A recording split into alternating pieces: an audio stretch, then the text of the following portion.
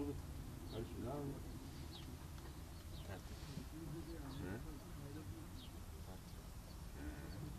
Evet.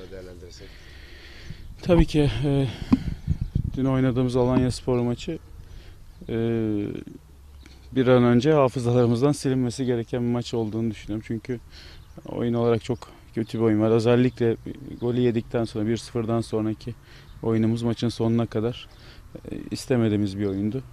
E, rakibe çok fazla pozisyon verdik. Çok rahat bırak. Çok fazla hata yaptık. E, tabii ki sıcak e, çok olumsuz yönde etkiledi. Alışık olmadığımız bir e, hava. E, bu anlamda oyunculara e, yani saha içinde bazen o aklımıza geliyor ama iki takım da sonuçta e, bu sıcakta oynadı ama dediğim gibi Alanya Spor maçtan sonra da söyledim. Daha çok isteyen, daha çok konsantre oldu bize göre.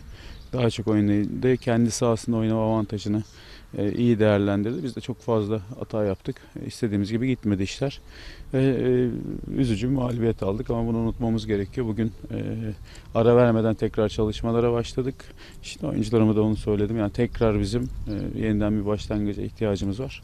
İnşallah Cuma günü bu da Beşiktaş maçıyla olur. Kendi sahamızda oynayacağımız maç.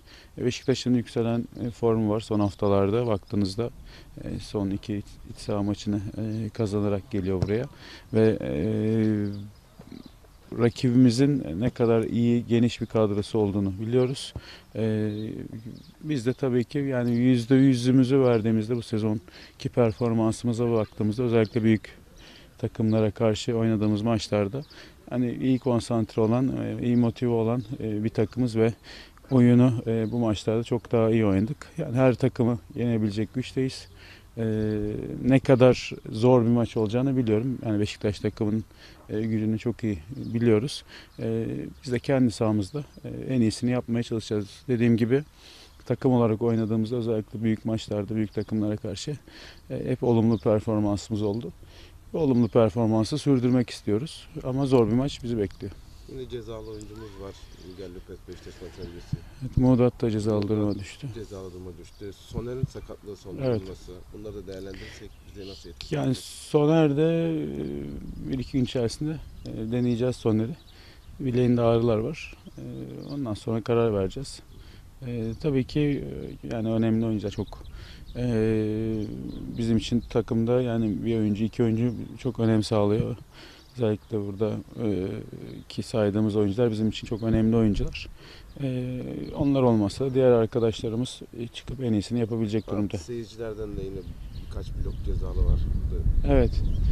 Evet yani şöyle bir, e, yani Başakşehir maçı tabii ki bu anlamda bize e, zararı oldu. Hem oyuncumuzu kaybettik hem e, seyircinin orada e, tepkisi oluştu. Yani abi orada hakemin kötü yönetimi yani e, bir takıma çok fazla zarar veriyor. Tabii ki kimse tepki göstermesin diyoruz ama e, çok kolay bir maçı orada çok e, kötü yönetti hakem. Orada hem oyuncumuzun hem seyircinin gereksiz bir tepkisi oldu. E, tabii bunları çok istediğimiz şeyler değil. Yani herkes için zor tabii ki yani 6 maç e, yani alttaki takımların e, durumu şu anda e, belli yani kim kaç puan toplayacak. E, şimdi bizim bulunduğumuz grup da oraya baktığınızda 6 puanlık bir fark kaldı. Bizim bulunduğumuz grup da oraya doğru sıkıştı. Yani bizim hedefimiz tabii ki bir iki maç en az iki maç kazanıp e, ligde rahat bir şekilde bitirmek. İnşallah buna da ulaşacağımızı düşünüyorum.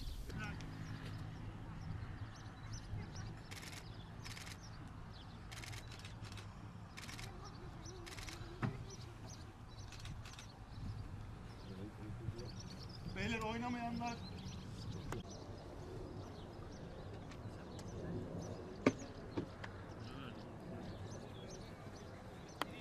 döndük. Evet.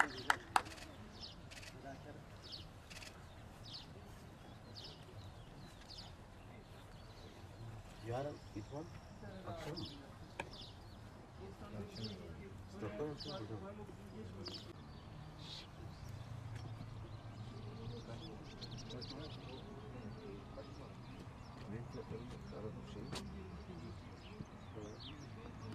Aldık diyor. будешь делать? Руслан, не выдумывай. Я смысл, что ты не спортсмен, давай.